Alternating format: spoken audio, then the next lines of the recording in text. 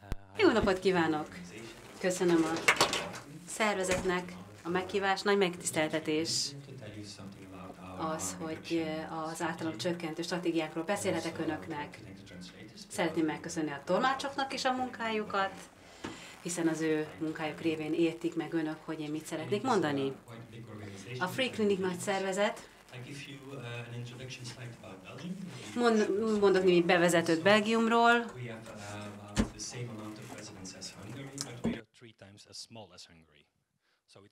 Legalább akkorák vagyunk, mint Magyarország, de ugyanolyan kicsi is. Három nyelven beszélünk, három kormányunk van, és hat parlamentünk, hat miniszterelnökünk, ezért van 42 miniszterünk és 7 államtitkárunk. Ez azt jelenti, hogy ha valaki munkát keres, akkor inkább a politikában próbáljuk el kell elhelyezkedni, mint a szociális munkában, mert ott jobbak a lehetőségek. little more than 400,000 people are Majdnem fél millió ember munkanélküli, és hogy megnézzük az ő, ő korbeosztásukat, ö, 31 százalékuk 25 év alatti. Eléggé közepes az megélhetőség Európa, Belgiumban, place of 41 a 41 európai or- orsz- országból a 21. helyet foglaljuk el. Mi a Flamand részen vagyunk, amely Belgium északi része, Antwerpen ennek a közepén van, a második legnagyobb flandriai város. Hadd beszéljek a migránsokról, 11%-ban vannak nálunk migránsok, bevándorlók, és hogyha ebből részletek érdekli ön- önöket, az első körben franciák, olaszok és hollandok találhatók a bevándorlók között. Uh. Beszélnék most Antwerpenről is bevezetésként. E, Ez a város szlogenje. Azt mondja, hogy a város mindenkinek szól. De ez nem igaz, hogyha az embernek van, van pénze, akkor az övé a város, ha nincs, akkor hát nagy kár. Uh, A flandiai régió gazdasági motorja, hiszen nagy, nagy kikötője van, ott van a gyémánt központ, about uh, 164 nationalities. 164 nez- nemzetiség él uh, Antwerpenben, és 2013 ó- óta új kormányzás is van, új kormányzási forma, és ehhez kell alkalmazkodni. Maradjunk pozitívak. Kilenc körzet van, fél millió lakosunk, a városban majdnem százezren laknak.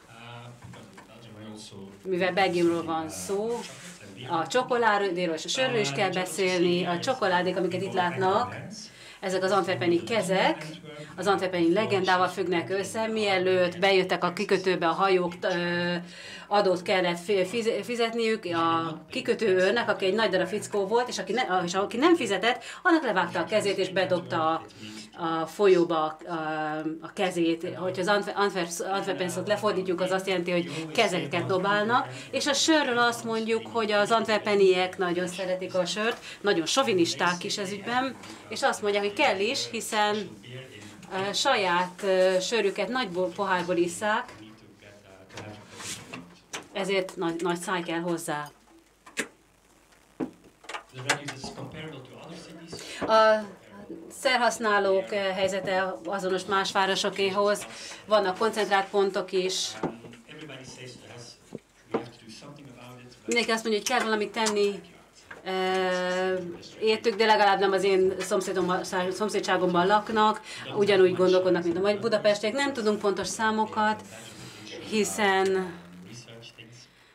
nem elegendő a kutatás, vannak különféle csoportok, Tamás is említette őket, és van egy nagyon régi drogszintér, a heroin a legfontosabb szer, amit használnak, követi a kokain. Miért? Azért, mert az alacsony, a, a, a, a, alacsony az ára és jó minősége, és jó minő, jó minőség, hiszen a kikötőn jön be. Public and semi-public settings.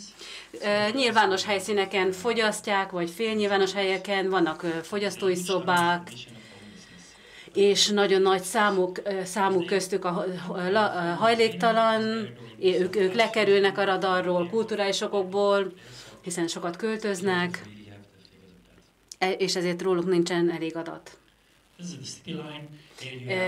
Ilyen a-.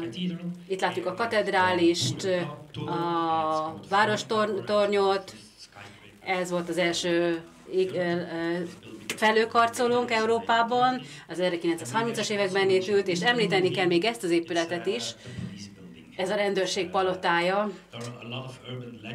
Nagyon sok városi legenda kapcsolódik hozzá, jó meg rossz is. Mi Gotham City-nek hívjuk, Gotham városnak. Ez a Free Clinic épülete. A központból Antwerpen északi részére kényszerültünk. Uh, két autópálya van a közelében, és vonattal metróval is meg lehet közle, köz, köz, közelíteni, ezért elég nagy a zaj körülöttünk. Ezzel a sok adattal nem akarom mutatni önöket, de el kell mondanom két adatot. Az egyik az 1973-as év, amikor is a Free Clinic és én is megláttuk a napvilágot, én is akkor születtem, egy, egykorúak vagyunk, és 1997, amikor elismertek minket a rehabilitáció központjaként drogszerhasználók számára. Négy pillér alapján dolgozunk, a gyógyítás, gondozás, utcai munka, erről majd később még beszélek. E tevékenységünk központja az EMSZOK, orvosi szociális központnak fordul, fordul magyarra, mindenféle általamcsökkentő civil szervezet, és ezt a meghatározást használja, és életminőséget próbálunk fejleszteni, javítani, illetve mikroszinten is ezt tesszük, erről is beszélek majd később. Tamás említette ezeket az adatokat, standardeket, amihez alkalmazkodunk, betűszavakat láthatják önök is, és nagyon fontos az intézkedéseket kombinálni, hogyha csak egy vagy kettőt választunk ki, és külön csináljuk őket, akkor azzal nem érünk el olyan jó eredményt, mint a kombinációjukkal. Ebből épül fel a stratégia és a szinergia a jobb eredményekkel. A Nemzeti Intézet azt mondja, hogy ezek az életterületek, amivel foglalkoznunk kell a drogfogyasztók esetében, nagyon sok külön területre látható ott, amivel gondoskodnunk kell, és hogyha a Free Clinic helyzetét nézzük, ezt a zöld, az összes zöld területre kitér a tevékenységünk. Január 1-től kezdve már lakhatással is foglalkozunk, hiszen együttműködünk lakhatási civil szervezetekkel a drogfogyasztók számára. A magyar helyzettel szemben nekünk nincs jogtanácsunk, és ez egy nagy probléma, nem tudunk jogtanácsot nyújtani.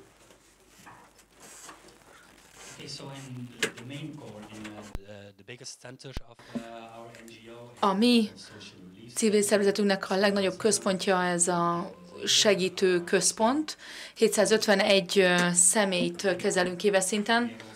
Ezen kívül nemi specifikációs programunk is van, 40 nőt kezelünk hetente, fiatalokkal is foglalkozunk, minden héten 15 fiatal jön hozzánk, és ezen kívül pedig vannak profil specifikus programjaink is, ezt is az ifjúsági központban kezeljük.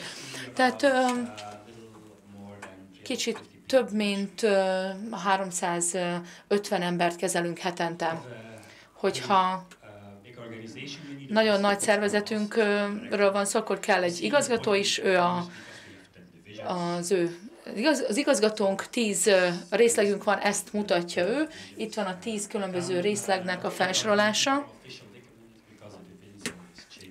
Igazából folyamatosan változik az összetétel, úgyhogy nem ismertettem részletesen. Ez a tíz részleg 56 civil szervezeti munkást foglal magában, ami pedig az orvosi társadalmi központot illeti, nagyon sok segítőnk van, tehát itt fölülről lefele látjuk a, a felépítést. Az orvosok esetében látjuk, hogy vannak pszichiáterek, orvosok, ápolók, még recepciós, pszichológus, mindenki, akire csak szükség van.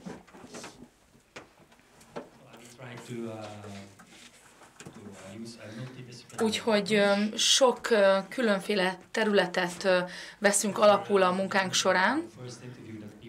Az első interjú során, aki valaki részete venni a programban, akkor 10 és 12 óra között mindenfajta előzetes bejelentkezés nélkül jöhet, és három munkanapon belül már elkezdjük a közös munkát. Ezek jogi kérdések,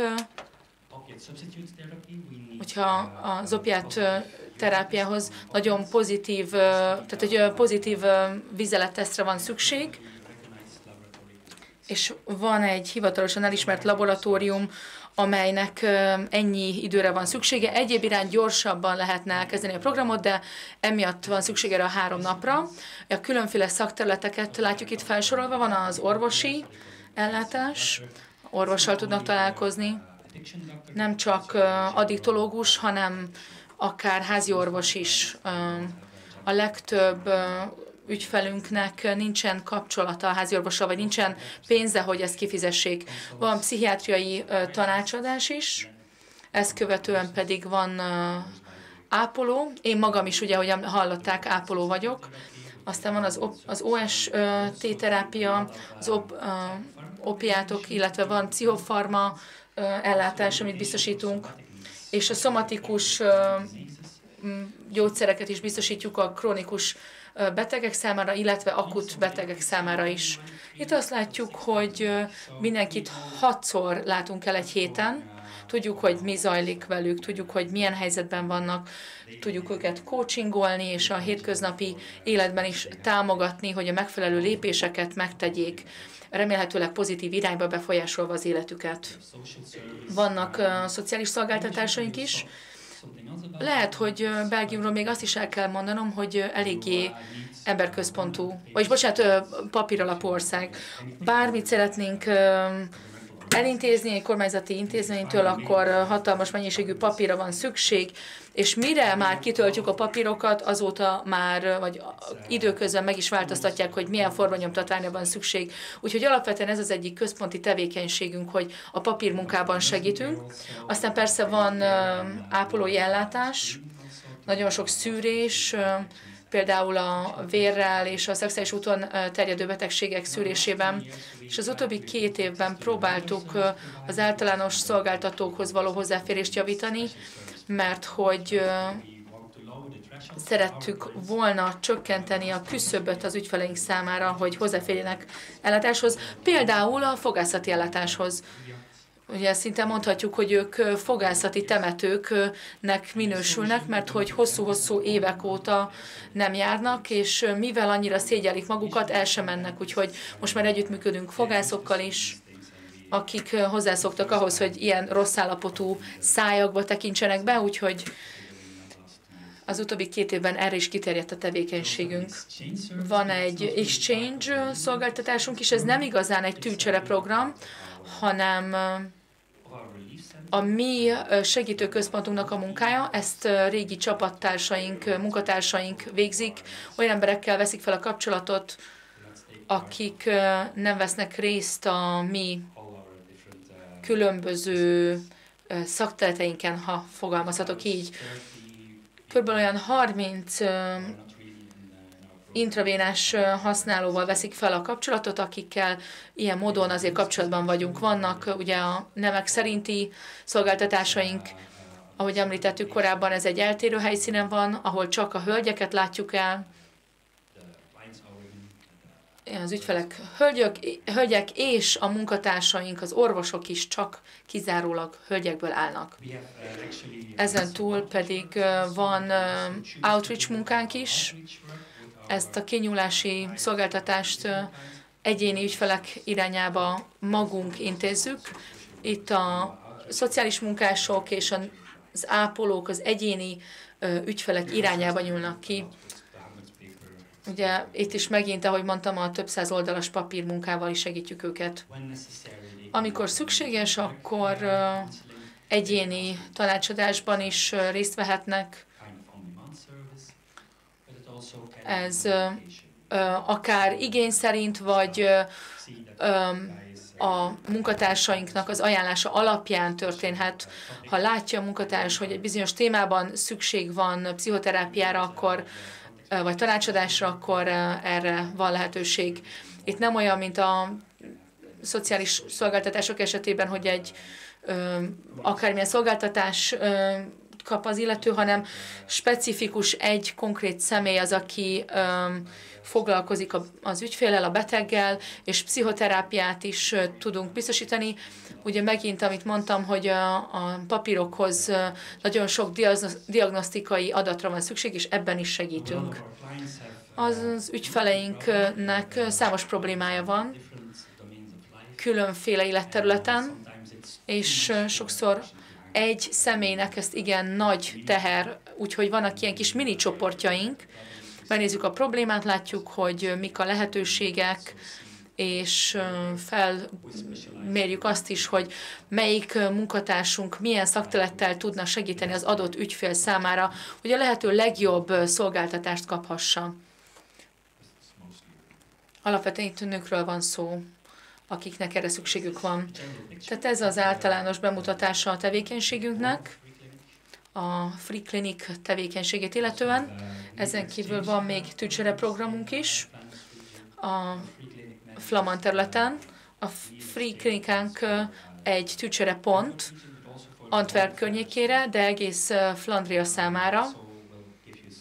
Úgyhogy szeretnék számadatokkal is szolgálni az antwerpeni és a flandriai terület, ugye a flandriai terület magában ötször nagyobb, mint Antwerpen.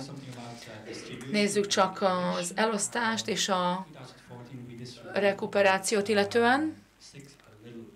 Kicsit több mint 610 ezer fecskendőt osztottunk ki, és ennél többet gyűjtöttünk be. Ez azt jelenti, hogy a használóink az eszközöket akár gyógyszertárakból, vagy más kapcsolati pontokon, pontoktól szerzik be, viszont a mi leadási pontunkra elhozzák, ennek mi nagyon örülünk.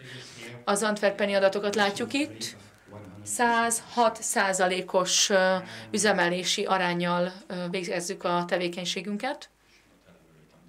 Ezt szerintem ezt nem kell tovább ragozni.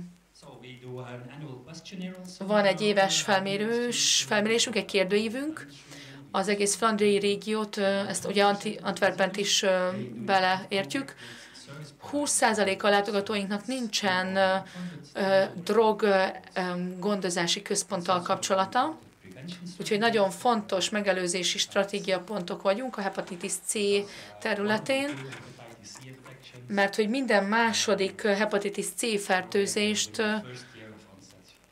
a az intravénás drog, droghasználatot követően egy éven belül kapják el sajnos az ügyfeleink, és leginkább 20 év körüli, 20 év alattiak körében történik ez 50 ban úgyhogy mindenképpen el kell őket érnünk, és a tücsere programba be kell őket vonnunk. Látjuk a flandriai régiót, ez baloldalt. 25 százalékuk soha nem vett részt semmilyen programban, vagy akkoriban még nem vett részt. Antwerpenben ez 37 százalék. Tehát a, a tücsere programban résztvevők 37 százaléka nem vesz részt egy kezelési programban. Úgyhogy a tücsere program segít bennünket, hogy elérjük a nehezen elérhető ügyfeleket, de magunknak fel kell tennünk a kérdést, hogy olyan szolgáltatók vagyunk-e, akiket nehéz elérni, ezt ugye el kell még úgy döntenünk, fel kell térképezni. A Bubbles and Bubbles, az a szülők számára nyújt szolgáltatást, olyan gyermekeik vannak ezeknek a szülőknek, akik drogfelhasznók, és segítünk nekik a készségeiket javítani, ezt további civil szervezetekkel együttműködésben végezzük. Az ifjúsági szolgáltatásunkat pluginnak hívják, ezt szeretném kicsit részletesebben kifejteni, mert hogy ebben én részt veszek. Ugye egyfelől van ártalomcsökkentés és kockázatcsökkentés is. Ugye a szakpolitikusoknak jobban hangzik a kockázatcsökkentés, mint az ártalomcsökkentés, Úgyhogy ezért kellene egy picit így talán önöknek is átfogalmazni, hogy mit mondanak, mert jobban bevehető. Ezeknek a fiataloknak szükségük van ártalomcsökkentése? Hogy nem? Különféle dolgokat látunk. Ténylegesen nagy a szükség. Ugye ez a, az európai uh, buzzword, ez a fontos szó, hogyha a NIT-et használjuk, a, akkor az nagyon fontos tehát nincsenek az oktatási rendszerben, képzésben, vagy bármilyen módon bevonva a hagyományos rendszerben. 21 éves korukban négyszer akkora a kitettségük a munka szempontjából, a pszichológiai problémák szempontjából, és ötször akkora a kockázat a bűnügyi nyilvántartásba való bekerülése, és nagyon alacsony a százalék, hogy diplomát szerezzenek, hogyha pedig van Priusuk, még akkor nagyon kevési valószínű, hogy munkát kaphatnak. Nagyon fontos az is, hogy a családjukon túl az iskolák számítanak a második legfontosabb hatásnak a társadalmi fejlődésük szempontjából, hogy ezért iskolákban kell tartanunk őket. Nem csak diplomájuk nem lesz, hanem különféle készségeket sem tanulnak meg, amely egyébként szükséges az élethez. Látjuk, hogy a fiatalok körében, 122 fiatal körében végeztük el a felmérést, több mint a felük már a fiatalkorúak börtönével kapcsolatban állt, 18%-uk már börtönben is volt, és a különféle fogdákban is megfordultak már 27%-ban. 10%-uk közülük 88 hónapot voltak már börtönben, ez hosszú idő, vagyis 10 közülük voltak már, és ez egy nagyon költséges a társadalom számára, 170 euróba kerül egy napi ellátás. Ugye ezek azért eléggé titokban tartott adatok, de mi 2011-ben végeztünk egy felmérést, és ott kaptuk ezt a választ, hogyha ezt a 88 hónappal felszorozzuk, akkor 449 ezer euró, 450 ezer euró, ami közpénz, úgyhogy ez egy igen magas összeg. Úgyhogy ott kell lennünk emellett a fiatal csoport mellett, a fiatalok mellett az életük különféle pontjain, akár legyen kockázat, amely megnövekedett kockázat, de bármiről is legyen szó, támogatnunk kell őket a különféle pontokon. És így próbáljuk meg az életük irányát megváltoztatni. Idén, szeptember másodikán nagyon megdöbbentünk. Ez a Yoda workshopnak az első napja is volt, úgyhogy valószínűleg emlékeztek erre. Jordi halt meg ezen a napon. Ez egy 19 éves fiatal srác volt, akit kirúgtak az az ifjúsági védelmi rendszerből, mert hogy már elérte a 18. életévét, az utcán élt, nem tudott segítségért segítséget kérni a felnőtt szolgáltatástól, mert túl fiatal volt, úgyhogy mindenfajta szűrőn kiesett. Egy Jenc, Jenci városi parkban élt, és éhen halt. Nagyon komoly média figyelem övezte ezt az eseményt, mert hogy a közvélemény Jordi Bericet szerették volna, hogy valamilyen módon akár poszthumusz támogassák, hogy megfelelő módon eltemessék, úgyhogy pénzt gyűjtöttek neki. A mi szolgáltatásunkban voltak olyan emberek, akik nagyon fiatalon meghaltak, szintén névtelenül, mindenfajta média figyelem nélkül haltak meg. Tehát az ifjúsági szolgáltatás szempontjából az ártalomcsökkentés nagyon fontos. We do street corner work, uh, street corner work with uh, prostitutes, but I won't elaborate. Van egy aktivációs csapatunk is, uh, akik um, a kemény felhasználókkal foglalkoznak a hotspotokon, a város hotspotjain. Próbáljuk nem animálni, hanem aktiválni őket, próbálunk különbséget teremteni számukra, pozitív dolgokat a környe, környezetükben.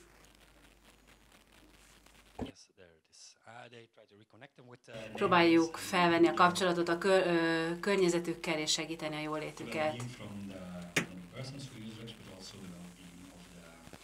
A személy jólétét is próbáljuk segíteni, és a hotspotot is. Van egy elképzelésünk, melynek az a neve, hogy bűraktív, és ez a kemény használók aktiválásáról szól, kiindulási pontként van munka, munkát kapnak, azok, akik nem illeszkednek be a gazdasági környezetbe, azokat próbálunk valami, azoknak próbálunk valami elfoglaltságot nyújtani. Ez a kép a kikötőben készült, az Antwerpeni kikötőben, itt osztják ki a napi munkát ebben a csarnokban, ott felül láthatjuk azokat az embereket, akiknek már van munkájuk, és osztják szét a papírokat, és aki kapott egy ilyen papírt, az elmehet a kijelölt hajóhoz kirakodni. Ugyanazt a módszert használják, ez az épület persze nem olyan nagy, mi is valami hasonló módszert alkalmazunk, önkéntes szerződéseket és fizetést adunk nekik, napi 8 eurót és egy szendvicset, és ezért tudnak napi, napi munkát végezni. Minden nap valami más feladatot kapnak, és naponta 5-15 feladatot tudunk kiosztani, és aki akar dolgozni, az csatlakozhat. Megkapták a saját épületüket, az a neve, hogy a Nomád, Nomád épület, ez a neve, azért, mert már 12 éve kerestünk egy épületet, most sikerült egyet találni, privát szponzorok jó, jó voltából, a Free Clinic mögött a sínen innen, de végre van más saját épületük. Tű őrjáratot is végeznek, tűket tisztítanak. Nagyon kevés ilyen szolgáltatás van Antwerpenben, 5000, ami nem olyan sok. Több mint 100 ezer tűt osztunk ki évente, tehát ez egy elég jó szám. Ez egy profi dolgozó és önkéntesek a köztereket és helyszíneket tisztítják meg a tűktől. Látjuk a vappereket, akik, ezt nem lehet nagyon lefordítani, ez egy, ez egy olyan szemét jelent, aki kapcsolattartó személy, olyan emberek, akik az adott környéken élnek, ők a kapcsolattartók az egész környék számára akkor, hogyha tű, tűket találnak, amit össze kell szedni, és ki kell tisztítani. Ők végzik ezt a tisztogatást, vagy ők irányítják az őrjáratokat, és legközelebb be, ők is, ők maguk is részt vesznek. Ezek a kapcsolattartók lehetnek ők fogyasztók, vagy korábbi feldraghasználók, vagy akár egyszerűen csak lakosok. És nagyon jó, hogy többféle személyt tudunk bevonni.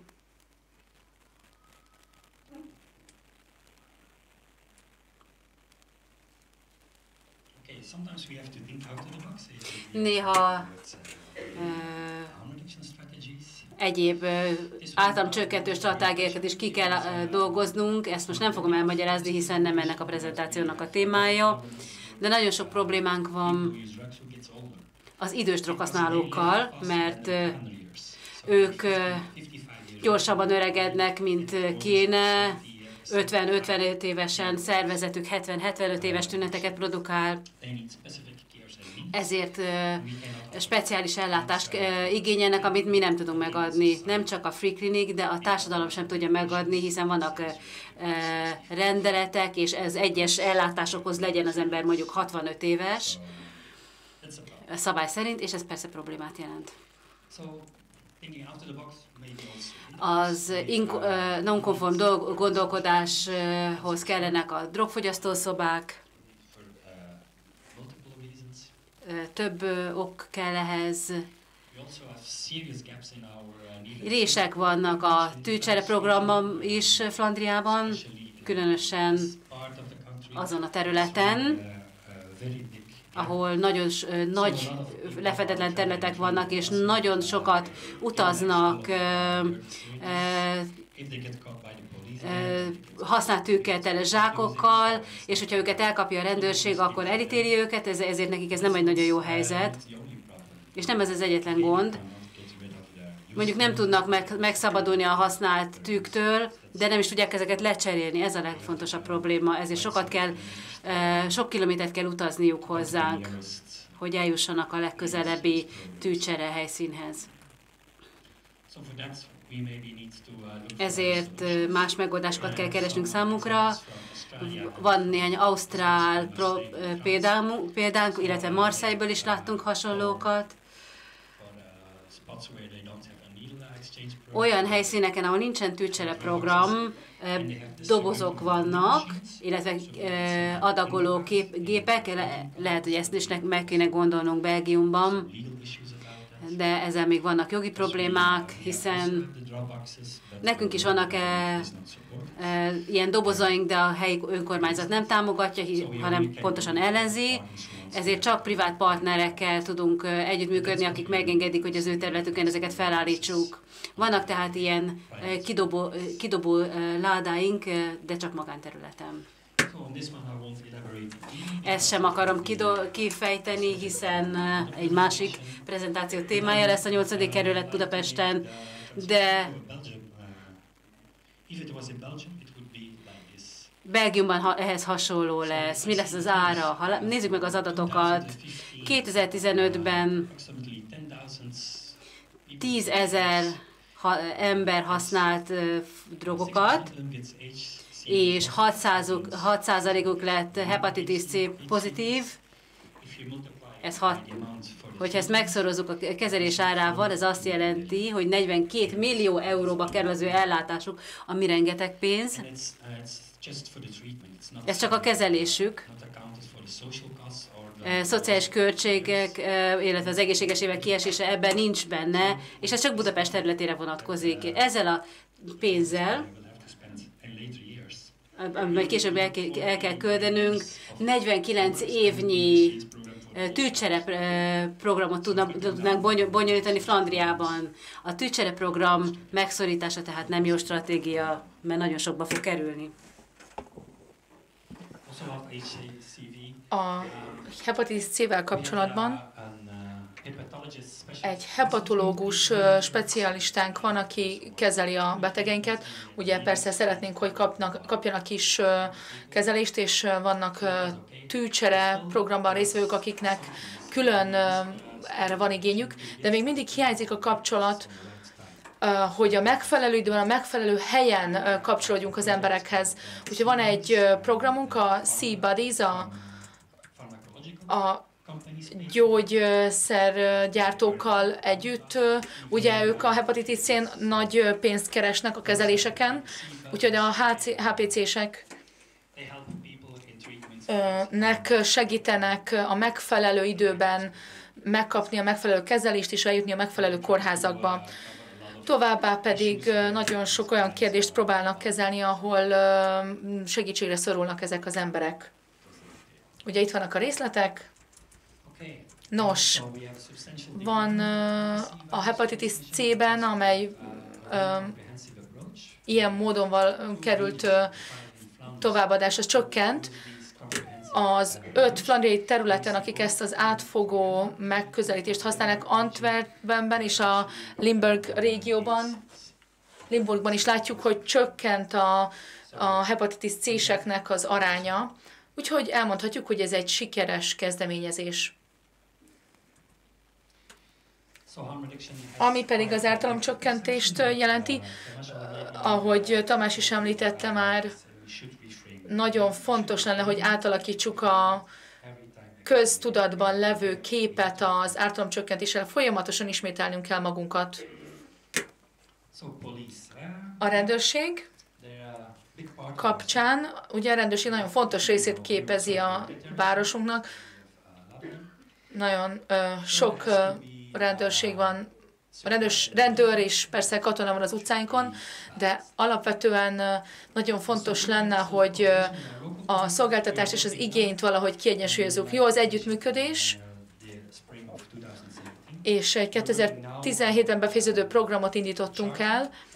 Egy olyan kartát alakítunk ki, vagy olyan kartán dolgozunk, amely nagyon tiszteletben tartja a rendőrséget, a, illetve a drogfelhasználók körében is oda-vissza. És ez a karta ö, azt irányozza meg, hogy a felek nagy tisztelettel kezeljék ö, egymással, úgyhogy ne vegyék el a tiszta fecskendőket a, a metodon tőlük, és a drog ö, fogyasztók, amennyiben ö, mondjuk fecskendőkkel rendelkeznek, akkor ö, szóljanak előre, tehát hogy ne az legyen, hogy elkezdik őket motozni, és ott van a fecskendő zsebükben.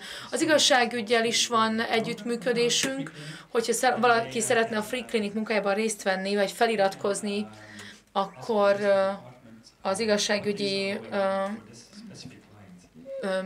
szak tekintélye vagy szakhatósággal fel tudjuk venni, hogy a kapcsolatot. Tehát például, hogyha valaki mondjuk börtön előtt áll, akkor megfelelő intézkedéseket hozzunk például a lakhatását, illetően, hogy ne kerüljön még nagyobb bajba.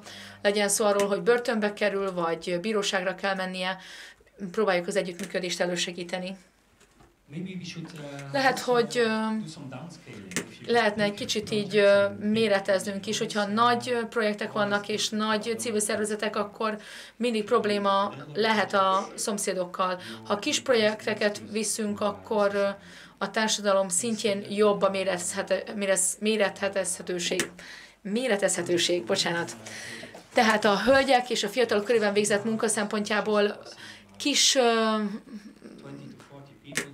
lakást, kis központot hozunk létre, ahol 20-40 ember fordul meg, így a lakosok, a környékbeliek nem is veszik észre, hogy milyen munkát végzünk. Ez nagyon fontos, mert ilyen módon több elérhetőségi pontot tudunk létrehozni. Az ártalomcsökkentésnek a részét képezi az ügyfelekkel való párbeszéd. Velük, együtt, nekük, nekik és értük nem csak róluk beszélünk, hanem velük is kell beszélgetést folytatnunk, úgyhogy 2006 óta most már minden egyes divíziót képviseltetünk ebben a tanácsban, és persze vannak nehézségeink, vannak jobb időszakaink, nagyon sok erőfeszítést igényel, de attól függetlenül azt érezzük, hogy ebben részt kell vennünk. Ez volt az utolsó um, diám. Remélem, hogy az időbeli kereteket tartottam.